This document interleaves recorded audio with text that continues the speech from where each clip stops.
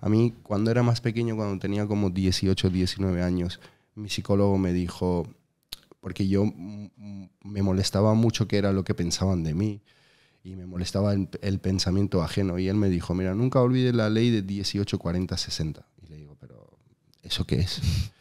Y me dice, mira, a los 18 años a las personas le importa mucho el pensamiento ajeno. A los 40 le da igual qué es lo que piensan de ellos. Dice, pero a los 60 se dan cuenta que nunca nadie ha pensado en ellos.